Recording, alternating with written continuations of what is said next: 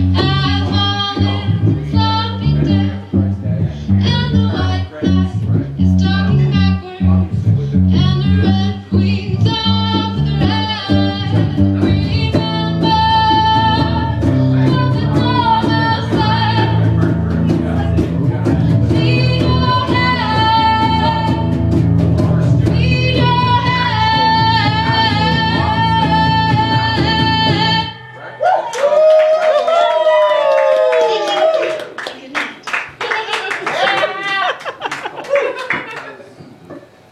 can't even. So